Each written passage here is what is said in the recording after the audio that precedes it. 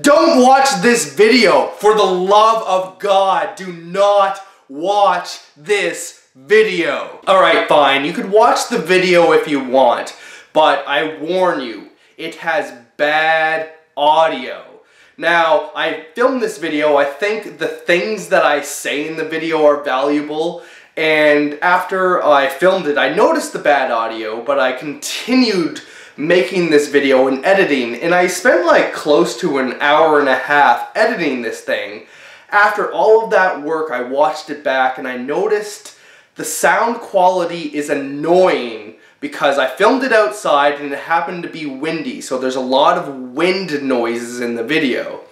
Um, after filming, editing everything, I felt like, why shouldn't I upload it? I spent all of this time filming and editing the thing. Uh, I felt like, you know, I should upload it because I spent all of that time, but when I when it came down to it, I didn't want to upload something that would hurt my brand. And I came to the conclusion, this learning lesson, bad audio equals bad video. And I'll never forget it from this point forward. I'm going to make sure my audio is clean and I thought I'd share that message with you guys. If you guys are making a video it's more forgivable to have, you know, grainy video quality than it is to have crappy audio. You know, you could have like grainy kind of amateur looking video and still have good good audio and it be a good video. But if you have HD quality video and crappy audio, that's annoying and people are going to click away from that video. So even though I spent all of that time, I have to, you know, figure out what is the best move moving forward. And I decided, well, at first I wasn't going to upload this, but instead I thought I'd turn this into a learning lesson that I would share with you guys. Take that negative, turn it into a positive, and make this video and have that, that lesson. Remember this? bad audio equals bad video. Even if it has brilliant video quality, even though it has brilliant ideas, bad audio is annoying, it, it turns people off, so don't do it. So if you'd like to kind of give get an idea of what the, the video and the audio sound like, here you could watch my video now.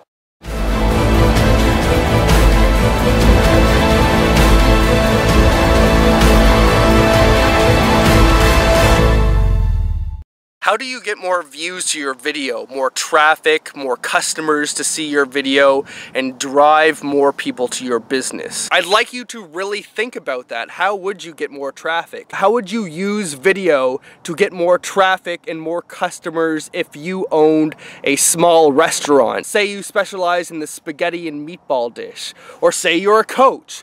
Say that you are a life coach or a business coach or say that you are a fitness coach or a health coach. How would you use online video and how would you get views and traffic to that specific video? Here's a simple three-step process that will really help you out with that. Step number one, you want to identify your customer and make it feel as though you are speaking directly to them. When your ideal customer is watching your video, you want it to feel like you you are specifically talking to them. But how do you do that specifically when it feels like you're just kind of talking to this inanimate object, this camera? You want to identify your customer, but how do you do that? Well, you take out a piece of paper and you draw a figure. Maybe draw a stick man and give them a name. This person represents your typical or average customer. Even give him a name. Name him Bob. Now Bob represents your typical customer.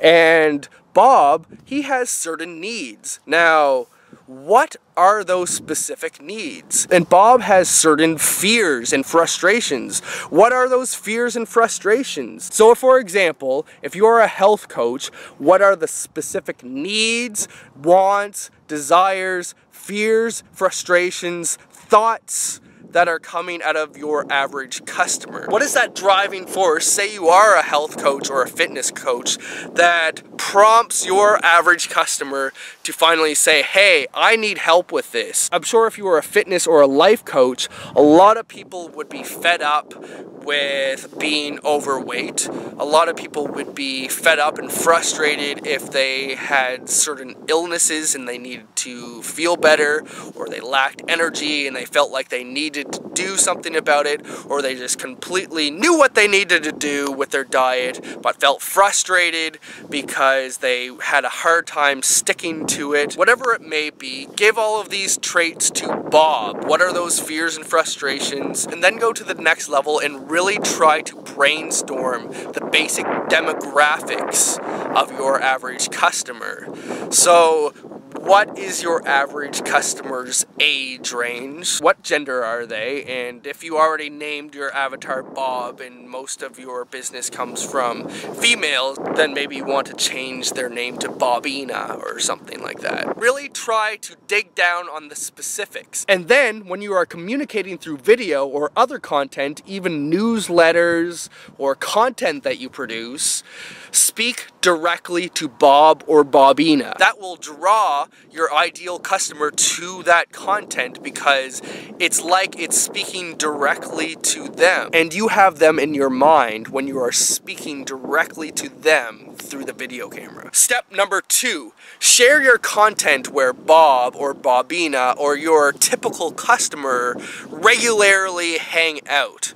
So if you are a fitness coach, then your average customer or Bob is probably hanging out on fitness blogs or fitness forums online. So if you are a fitness coach, be sure that you are posting on fitness blogs and you are really paying attention to what other people are saying. If your channel is centered around video games, playing video games, or doing video game reviews, then make sure you are getting engaged in online communities where that is happening and people are talking about that. So that could be video game forums, video game Facebook groups, video game blogs, and become friends with other people who are in your niche. So find other people who do similar things that you do, like maybe you do video game reviews and you partner up with someone who uh, does video game let's plays where they record themselves playing a game and adding commentary to it. Step number three is feedback and refine. Feedback and refine. What could that possibly mean? Feedback and refine. Well, first you want to find feedback. So if you post a video, you really want to pay attention to your comments. If you are on, on if you are on online forums, you really want to pay attention to what people are saying on there and then refine refine your content based on what other people are saying. Say a lot of people are asking questions on a specific topic.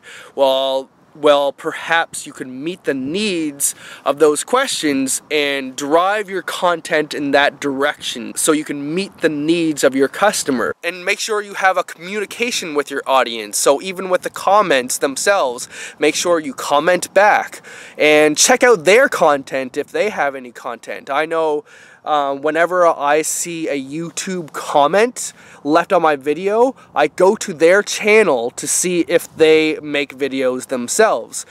Um, I say sometimes they do make videos, a lot of times they don't. They're just people who like to leave comments on videos. But a lot of the times, um, there are also other people who make videos. So being able to see other people and see your customer can really make a huge difference because you're making real connections with real people. Anyway, um, by doing that, you, you gather more, more um, more customers, more loyalty. It's fun because you get to meet people and friends and see what they're doing. But also, uh, in this process, make sure to also refine Bob. So say you learn a new need or a new little thing or a new detail on uh, your average customer. So for example, say that 70 to 80% of your audience is between the ages of 20 and 25. That's where most of your views come from already. Well, think about the average need of a 20 to 25 year old. It's probably a lot different than someone who's 40 to 45 or someone who's 10 to 15. So when you are further refining Bob and further gathering insight on your average customer, um, make sure to take that into account and talk directly to Bob. And the more you refine Bob and figure out who Bob is as a person, the easier it is to communicate and talk with them. So that is all I had to say, and I have a question for you. Do you make videos right now? And if not, do you own a business? Are you a coach or own a business? Or are you or aspire to be an entertainer on YouTube or Facebook? Please let me know in the comments. Like if you're a health coach, just write I'm a health coach in the comments, or if you're an entertainer on YouTube, uh, link me to your YouTube page. That's all I had to say for today. Peace. Mike Marino videos.